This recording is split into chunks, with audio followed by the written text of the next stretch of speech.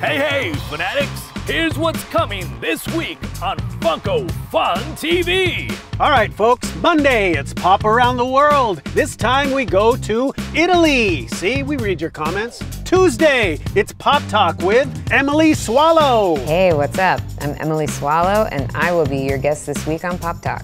Wednesday, Game 6 of Pop Quiz. Hi, I'm Ashley. My name is Justin. Hi, I'm Hector. One step closer to that trip to New York City. Thursday, it's Freddy's Funhouse. TMNT and FNAF. You know what I'm saying? What? and on Friday, Loungefly, Tate Tata Putty Tat, and Funko Games visits a classic movie, Rear Window. Get it? Let's play. That's the fun coming this week on Funko Fun TV.